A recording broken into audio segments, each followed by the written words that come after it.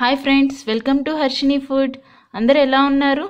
ఇవాళ నేను మీకు చూపించబోయే recipe best immune boost food palak rice. ఎటువంటి వైరస్నైనా తట్టుకోవాలంటే మన బాడీలో ఇమ్యూనిటీ పవర్ ఉండాలి. అలా ఇమ్యూనిటీని డెవలప్ చేసే రెసిపీనే ఇది. దీని తయారీ విధానం అండ్ దీంట్లోని హెల్త్ బెనిఫిట్స్ డీటెయిల్గా నేను మీకు ఈ వీడియోలో ఎక్స్ప్లెయిన్ చేస్తాను. కావలసిన పదార్థాలు బిర్యానీ ఆకు ఉల్లిపాయ పచ్చిమిర్చి ముక్కలు అల్లం వెల్లుల్లి ముక్కలు పాలకూర రెండు పెద్ద కట్టలు కడిగి కట్ చేసుకొని ఉంచుకోవాలి కారం ఒక స్పూన్ బాస్మతి రైస్ ఒక కప్పు హాఫ్ ఎన్ అవర్ ముందుగా నానబెట్టుకొని ఉంచుకోవాలి. ఉప్పు మసాలా పొడి. కుక్కర్లో ఒక టూ స్పూన్స్ నెయ్యి వేడి చేసుకోవాలండి. మీకు నెయ్యి ఇష్టం లేకపోతే నూనె కూడా వాడుకోవచ్చు. నెయ్యి వేడెక్కాక బిర్యానీ ఆకు వేసి వాటిని వేయించుకుందాం. తర్వాత మనం ముందుగానే కట్ చేసి ఉంచుకున్న జింజర్ అండ్ గార్లిక్ పీసెస్ కూడా వేసి ఎర్రగా వేయించుకుందాం. అల్లం డైజెషన్కి చాలా మంచిదండి. అండ్ గార్లిక్లో చాలా హెల్త్ బెనిఫిట్స్ ఉన్నాయి. ఎటువంటి వైరస్నైనా తిప్పికొట్టగల సామర్థ్యం వెల్లుల్లికి ఉందంటే అందులో ఏమాత్రం అతిశయోక్తి లేదు. సో ప్రెగ్నెంట్ ఉమెన్కి కూడా వెల్లుల్లి డైలీ తినిపిస్తారు. సో దాంట్లో అన్ని హెల్త్ బెనిఫిట్స్ ఉన్నాయి. మీకు ముక్కలుగా ఇష్టం లేకపోతే అల్లం వెల్లుల్లి పేస్ట్ కూడా వేసుకోవచ్చు. తర్వాత ఉల్లిపాయ పచ్చిమిర్చి ముక్కలు వేసి దాంట్లో పసుపు ఉప్పు కూడా వేసి గోల్డెన్ బ్రౌన్ వచ్చేదాకా వేయించుకుందాం.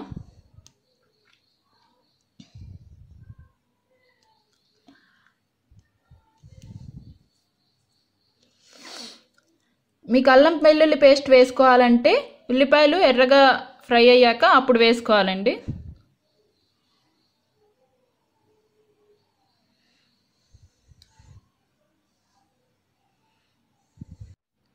ఒక ఫైవ్ మినిట్స్కి మనకి ఉల్లిపాయ ముక్కలు మంచి గోల్డెన్ బ్రౌన్లో ఫ్రై అయిపోతాయి. తర్వాత మనం కట్ చేసి ఉంచుకున్న పాలకూరను కూడా వేసి దీంట్లో కలుపుకుందాం. పాలకూరలో చాలా హెల్త్ బెనిఫిట్స్ ఉన్నాయండి. పాలకూరలో మనకి చాలా ఐరన్ అన్ని ఆకుకూరల్లో కంటే పాలకూరలో చాలా ఎక్కువ ఐరన్ కంటెంట్ ఉంటుంది.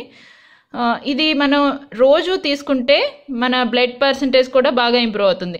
అట్లీస్ట్ రోజు తీసుకోకపోయినా weekly two two three times అయినా పాలకూర మన డైట్లో ఉండేలాగా చూసుకోవాలి.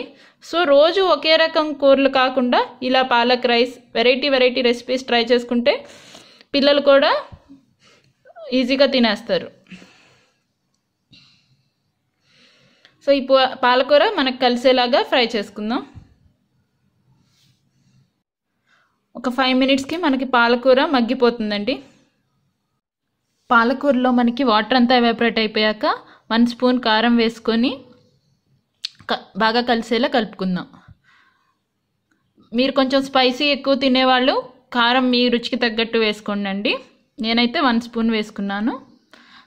తర్వాత దీంట్లో హాఫ్ స్పూన్ గరం మసాలా పొడి వేసి బాగా కలిసేలా కలుపుకుందాం.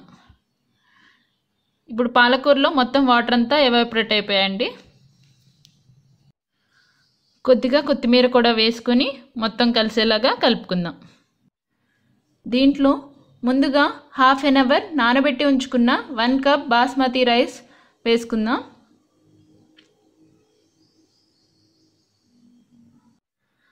దీంట్లో one and half cup water పోసుకొని మనం బాగా కలిసేలా కలుపుకుందాం. ఇది బాస్మతి రైస్ కాబట్టి నాకు వన్ కప్ రైస్కి one and half cup water సరిపోయాయి అదే మీరు నార్మల్ సోనా మసూరి రైస్తో కనుక చేస్తున్నట్టయితే వన్ కప్ రైస్కి టూ కప్స్ వాటర్ పడతాయి. దీంట్లో రుచికి సరిపడా సాల్ట్ అడ్జస్ట్ చేసుకోవాలండి. సాల్ట్ కావాలంటే ఈ స్టేజ్లో వేసుకోండి. ఇప్పుడు రుచి చూసుకొని కుక్కర్ మూత పెట్టేసి మనం ఒక టూ టు త్రీ విజిల్స్ ఉడికించుకుందాం.